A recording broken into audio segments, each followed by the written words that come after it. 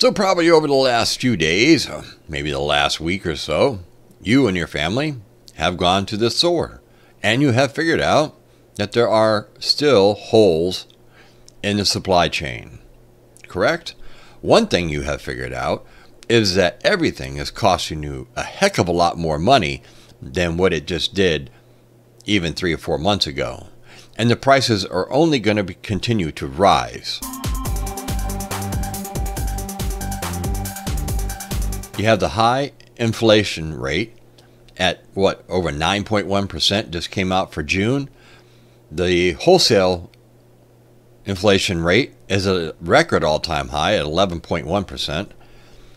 It's just getting crazy here, folks. Oh, yes, your gas prices and stuff are dropping and everything else. But why are we still having some of these shortages in the stores now? Beef and chicken, eggs, dairy, rice, wheat. Now, a lot of this stuff has been blamed on Ukraine. A lot of this stuff is being blamed on the whole issue of the global food famine that is taking place and you know all these massive shortages. This country is still wanting to send products out of here that we don't really have to give. Yes, we do have a stockpile, but you have countries like China, as you'll see in this chart I'm going to put up here in a second, they're hoarding a lot of their stuff, over 50%.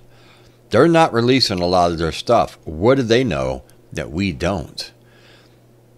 Something's up somewhere for folks when China is hoarding over half of their products that they usually are shipping out to other countries. They're just not doing it. So these people have an insight on something that is taking place. And we need to be aware of this. Because, folks, somebody is getting ready for something. Now, with the whole price index, all the prices and stuff are going to be going up even more. They're talking about a one point raise in interest rate. It was a three quarters of a point. But because all these numbers come in so high, well, just, they're trying to figure out a way to get everything back in check. And it's not working. In the same token, you know, the government still states, nah, we're not going into a recession. Are you people kidding me? Think about this. I mean, come on, folks. You know, I mean, the stock market has a good day, has a bad day, has a good day, has a bad day. It's been losing and losing and losing, and then it gains a little bit back. Investors are scared. A lot of the top analysts, a lot of the top bankers, and all these type of people are all saying that, hey, we're headed to a recession. There's no ifs, ands, or buts about it. So you're going to start to see a lot more stuff in the stores in the coming months that just aren't there. Now, yes, all these stores and everything are getting slammed with all the junk we don't need that they were supposed to get last year because all the containers and stuff are finally flowing through. But then again, all these big companies are having all these big sales to try to get you to buy all these different products that you don't need. Amazon just had their big, huge two day sale. The report came out on that. And most people spent money on products they needed.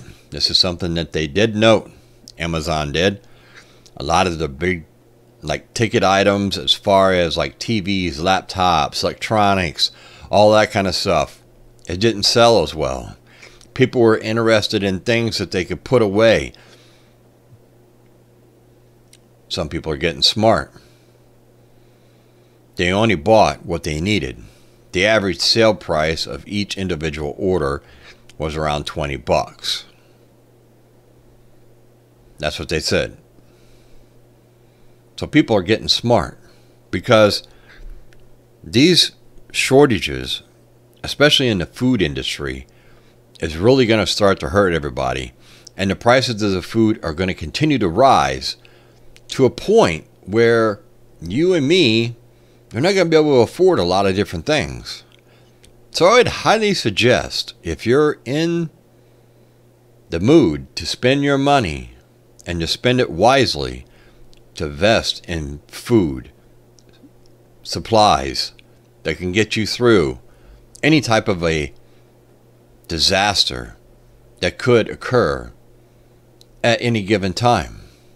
That could be anything from a hurricane, a flood, tornado, war. We don't know. We don't know what's going to take place. We don't know where this whole thing is going. All we do know is we have to be prepared.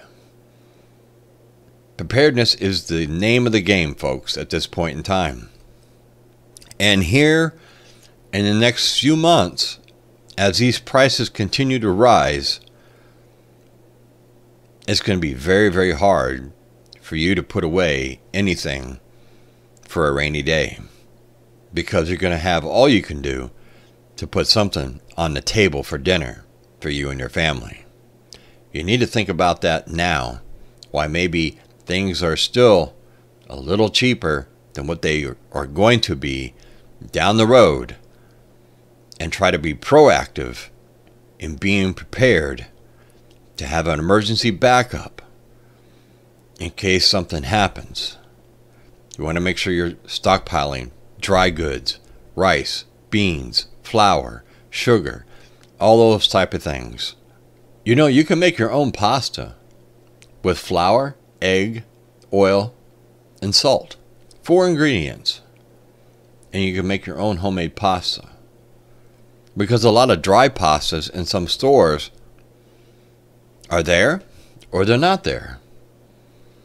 It's not like they have a lot in their back rooms to keep some of these stores stocked to the hill, if you get what I'm saying.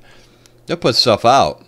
But if you're not the early bird and you get out there in the morning and do your shopping, the chances of you getting something later in the day or in the evening are slim and none. So that's just something to remember, folks. A lot of these big stores, they do a lot of their major stocking overnight. You get there when they open in the morning, and you get the first pickings. You get to get what you really want. You wait till later in the day, and you're not going to be able to get the things you need for you and your family. So I'm Survival Preparedness for Beginners. I'd like to thank everybody for everything that you've done for this channel. Hit that like button, share this video with your friends and family. And until next time, I'll catch you all on the flip side.